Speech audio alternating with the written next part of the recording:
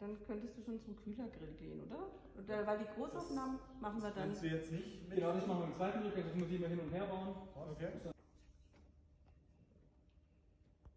Obwohl es noch glänzt, aber es ist Also, rubbelig. du scheinst deine Hand als Werkzeug zu brauchen. das stimmt, aber die Hand ist auf jeden Fall mehr wert als. Movie star.